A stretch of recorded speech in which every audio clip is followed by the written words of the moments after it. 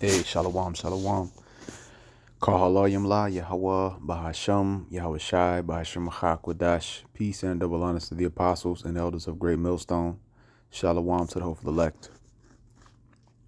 I want to go into this lesson, which is uh, a continuation of the last lesson that I posted on the channel uh, from Deuteronomy 23, dealing with uh, thou shalt not abhor an Edomite. Okay. And um, we're going to go right into it. All right. Deuteronomy 23 and 7. Okay.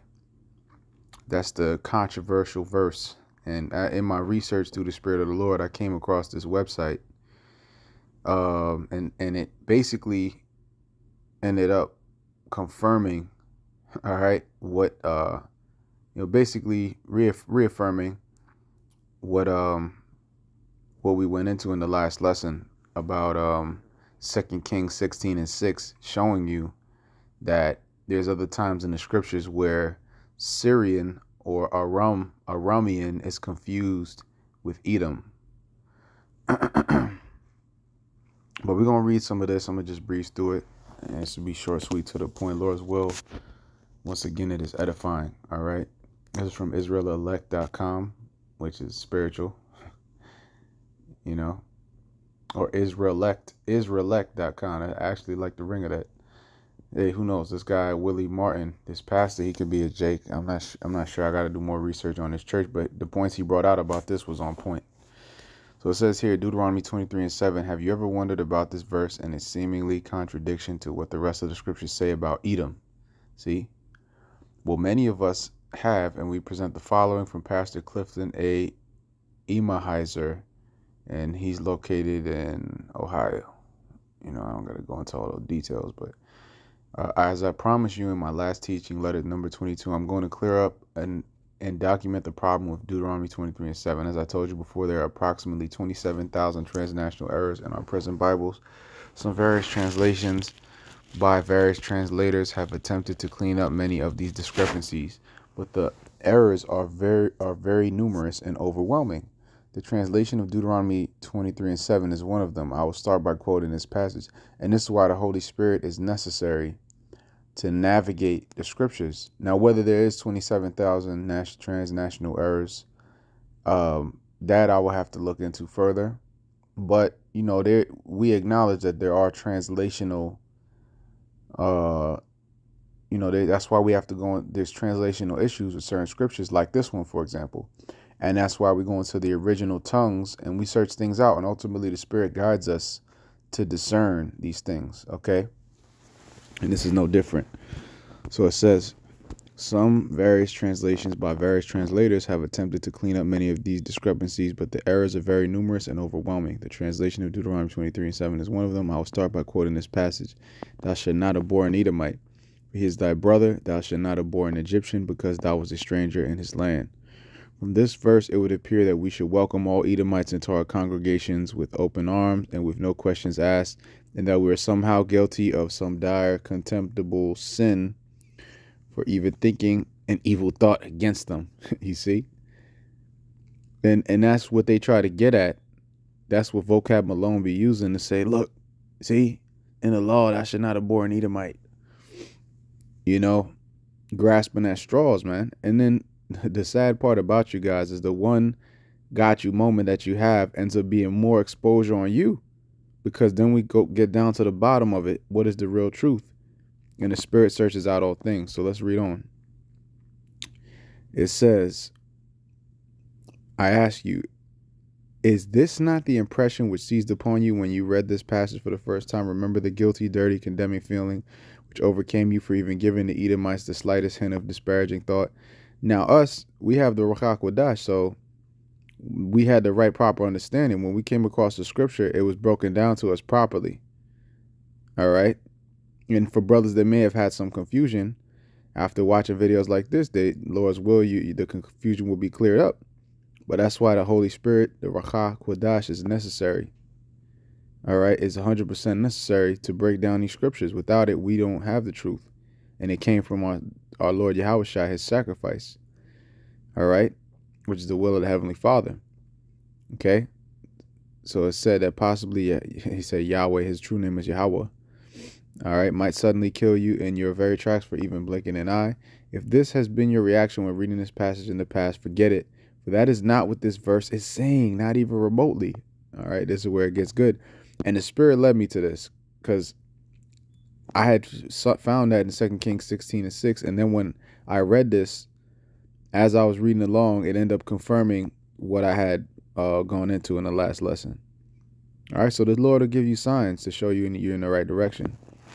All right, it says, um, if this has been your reaction regard reading this passage in the past, forget it, for that's not what this verse is saying, not even remotely. Okay, I it hap- I happened upon this verse many years ago when I was listening to a presentation by an identity speaker who was making reference to the Edomites by using this verse as one of his points. At the time, I decided to look into the Hebrew meaning of the word Edomite for myself. I found the Strong's exhaustive concordance of the Bible assigned the term Edomite, the Hebrew word 130, which says Adomi, Adomi, Adomi patronymic, an Edomite or descendant from Edom. Edomite, see number 726, which had the following to say. Arawam. See, why does it say C number 726? Arawam, a clerical er-, error for 130. An Edomite, as in the margin. Syrian, see? At once the truth struck me, and this was about 15 years ago. For if the proper rendering was Syrian instead of Edomite, it would make all the difference in the world. Now, why do they leave it like that? why do they leave it as thou shalt not abhor an Edomite? Well, that's obvious. Because they want to try to save the devil, you know, whoever is in control, which we know is Esau. He he's control in control of what translations are out there and so on and so forth. But they put it in you have to actually look to find that it's a clerical error. Okay? and it's going to break down how it's a clerical error. So let's read. It would make all the difference in the world. Over the years since that time, I've pointed this clerical error out to many people of our persuasion. At this time, at the time, I knew this made more sense if Deuteronomy 23 and 7 were to correctly read Syrian rather than Edomite. For the Syrians were Abraham's relatives, in which case this verse would read, Thou shalt not abhor a Syrian. You see? For he is thy brother. That's what it's talking about. Okay? because through Abraham, we are the descendants of Abraham, Isaac, and Jacob. All right, but they are also descend from Abraham. So they are, in a sense, all right, we know our only real family is the elect and Israel. But the law is saying to not harbor hatred, deep hatred for a Aram, okay? That's what it's saying, but it ain't talking about Esau. All right. It says, For he is thy brother, thou shalt not abhor an Egyptian, because thou was a stranger in his land. Over the years, I have been satisfied that the word should have been Syrian instead of Edomite. I remember one party who challenged me, indicating that it was only a clerical error and really didn't mean anything. I finally came to the conclusion that it would be hard to it would be a hard proposition to prove and decided not to push the point openly any further. That is, however, until recently when I was preparing for this lesson, I accidentally discovered that the clerical error or what the clerical error was. And this is this is this is where we got to pay attention. I would now reveal to you how I made this discovery. As I had decided to take up the topic of Esau, I was in the process of reading anything and everything I could find on the subject. I was reading along in the Interpreter's Dictionary of the Bible, volume E through J, page 24, under the subtitle Edom, when I read this there are places where, because of the similarity between the letters D and R, which is the Da and the Ra, the text ha- has wrongly read Aram and Arameans for Edom and Edomites, such as Second Kings 16 and 6. See? Now when I when I did this, I was re- when I saw this, I was rejoicing because that's the confirmation of what I had noticed. You see, where it says Second Chronicles 20 and 2, and that's another one that I didn't know about, where the KJV has followed the MT, but the RSV has followed and amended text. See, so in certain translations, they saw the error and they actually changed it. All right, note I have followed the Hebrew characters as faithfully as I know how to do on my computer. I may have made a mistake. The main thing to notice here is the similarity between the letters D and R, and they are similar. All right, it's the um the da I believe has a sharp uh edge. All right, it's a line going up and then a line to the left. Okay, and that's the da. But the ra has like a little curve to it, if I'm not mistaken. And that could be easily misinterpreted. You know, if you're kind of reading fast, you might not notice that. And that's what happened. You can see very readily that a very small slip of the pen can change the word from Edomite to Samian or, or Syrian to Edomite. I will enlarge these two Hebrew letters and place them side by side so you can observe the difference in them. Now, we could actually go into the blue letter. Let's see. Let's see.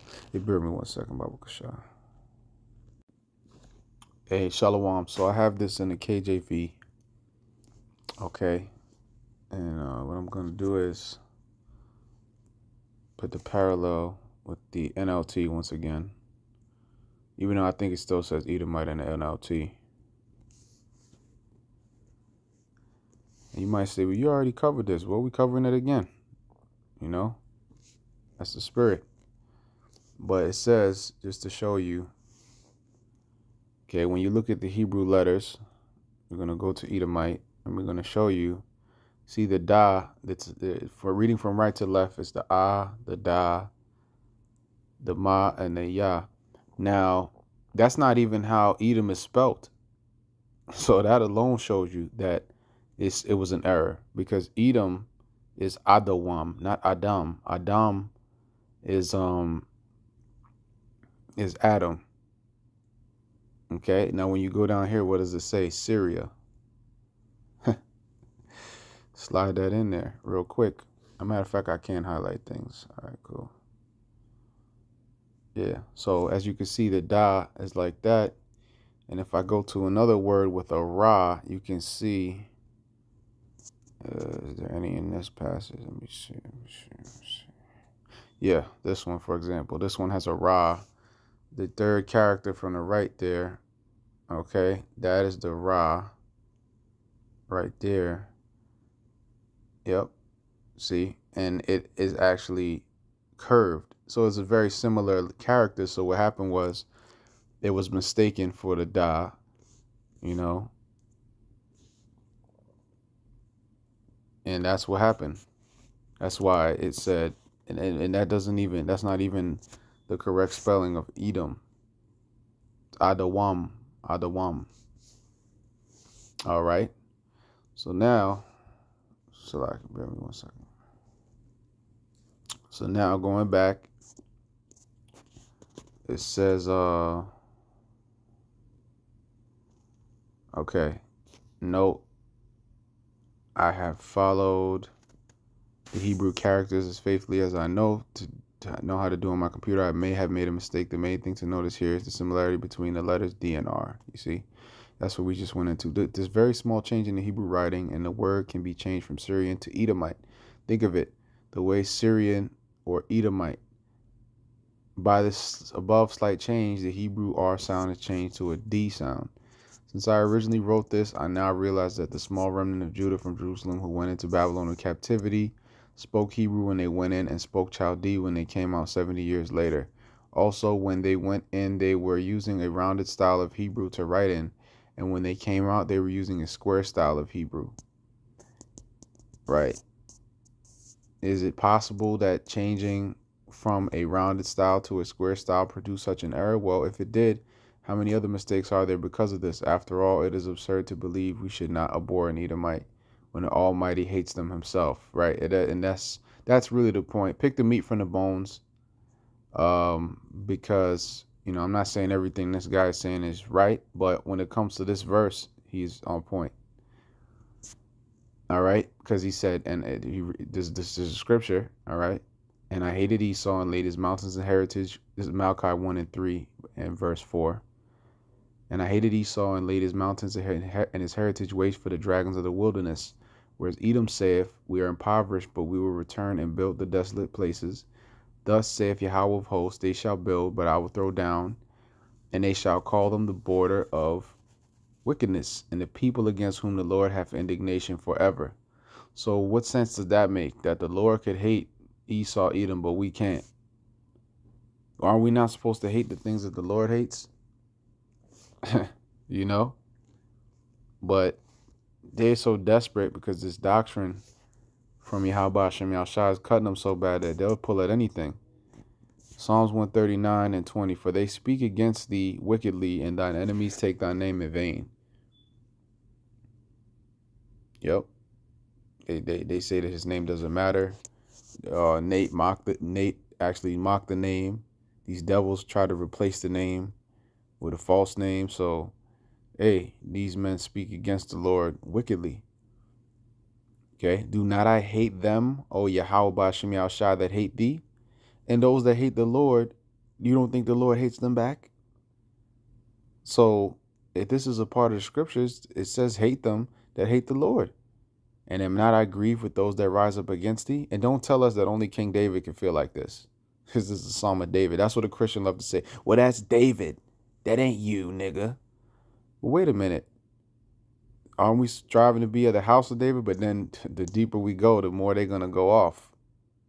Emotional goddamn Christians. That's why I can't wait for the Lord to bring these judgments, man. I can't wait because it's going to just show they're just going to have to swallow their pride and, and realize that this has been the truth the whole time. And all the praise and honor and glory goes to Yahweh by Shem Yahushai. We just blessed to, to have this truth and to be the vessels that the Lord choose, uh, Lord's will to the from the foundation to bring this out, from the foundation of the earth, all the way up into the end of this wicked kingdom. All right. But when that time comes, you're not all these little petty arguments is going to be a wrap. And am not I grieve with those that rise up against thee? All right. I hate them with perfect hatred. What you Christians know about perfect hatred? You talk about we can't even hate. Now we going deeper than that. What about perfect hatred? I count them mine enemies. Matter of fact, let's get that in the NLT. Sometimes the NLT are hit even harder. These other translations are hit even harder than the KJV. Yeah, I got it on airplane. Hold on. Real quick.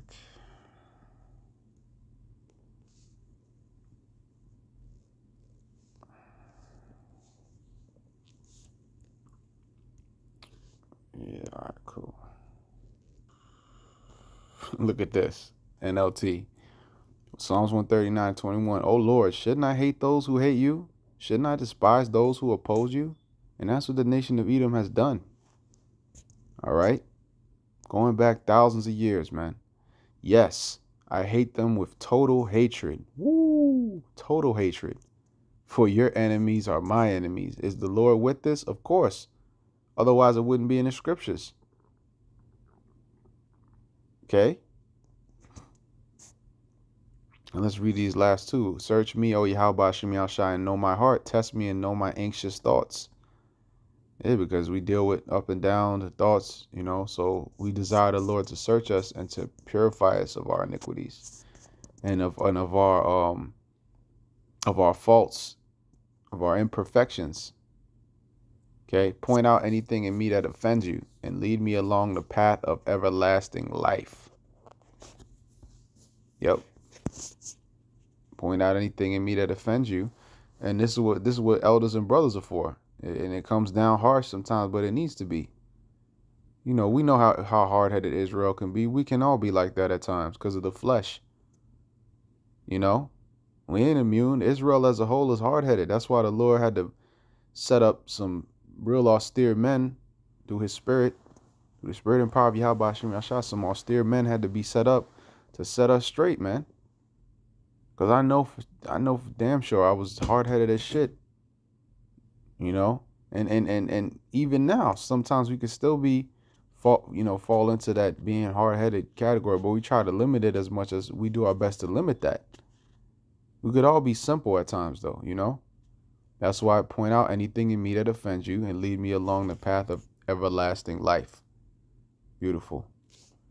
All right, now going back to the article, it says, And Edom saith, this is Numbers 20 and 18 to 21. And Edom said unto him, Thou shalt not pass by me, lest I come out against thee with the sword. And he, this Edom, said, Thou shalt not go through, And Edom came out against him with much people and with a strong hand. Thus Edom refused to give Israel passage through his border, wherefore Israel turned away from him. See, Esau's always been giving us trouble, man. And now they want to act like they just been our friends the whole time and save everybody. Get the fuck out of here, man.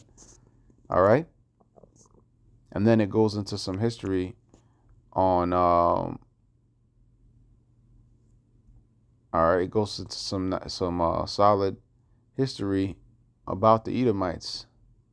Okay, which hey, Lord's will, I can get into this uh, at another time because this is actually solid. The way that he put these uh, precepts together is very edifying. But the point made, the point was made relative to uh, Deuteronomy. So I'm gonna just go ahead and go to um, Second Kings of 16, 16 and close it out with that once again. All right. Uh, yeah, Second Kings 16 and 6, and this is in the uh, NLT. It says, "At that at the, at that time, the king of Edom recovered the town of Elath for Edom. He drove out the people of Judah and sent Edomites to live there, as they do this day, as they do to this day." Edom. All right, and then when you look there, it doesn't actually mean Edom. It says Aram. Okay. As in Latin Vulgate, Hebrew reads Rezin King of Aram. Again, Aram. Aram. Okay. And he in the KJV it says Syrian. So why in the NLT does it say Edom? Again, that's the same clerical error that occurred. Okay. So, you know, the point was made. Lord's will, this was edifying. All praise, glory, and honor be unto Yahweh by Hashem, Yahweh Shai, by Hashem Dash. Shalom until the next one.